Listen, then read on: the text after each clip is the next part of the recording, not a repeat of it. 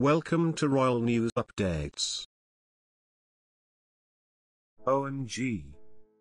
No one believes, Prince George made a decision at rugby match made Harry, William, Kate Middleton, Meghan cry.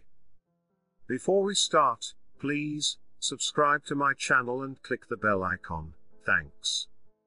Prince George has sent royal fans into meltdown with a cheeky move during England's Six Nations match against Wales. The prince joined his parents at Twickenham on Saturday where the Duchess of Cambridge scored a victory over her husband with England's 23-19 win against Wales.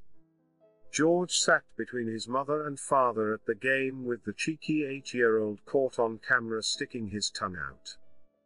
Leading royal commentator Robert Jobson tweeted, Cheeky Prince George, 8, pokes his tongue out as he joins rugby patrons Prince William and Kate Middleton at England v Wales Six Nations match.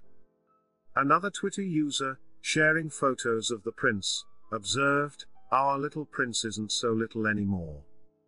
A third commented, He's such a sweetheart. He definitely looks like his mum, Dad and Diana all rolled into one. While a fourth Twitter user said, he's very adorable and serious looking. The Duke and Duchess of Cambridge were in direct competition for what was the first match Kate attended since becoming patron of the Rugby Football Union, RFU.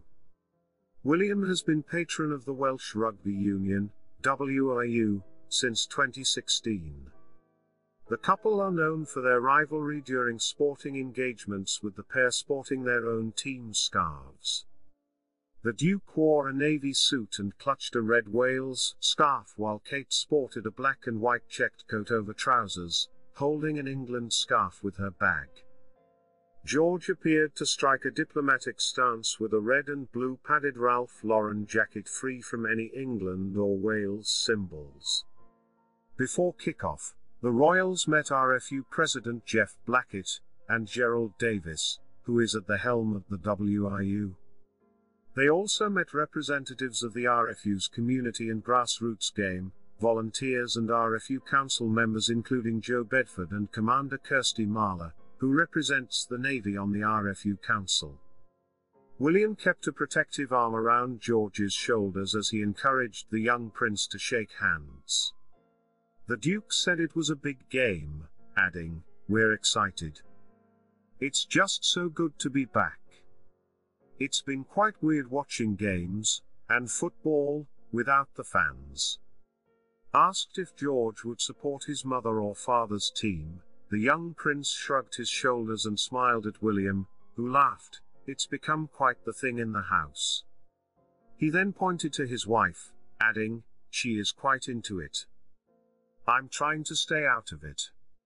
Kate then asked George to tell the group about how he has started playing rugby at his school. She said, he has all the kit.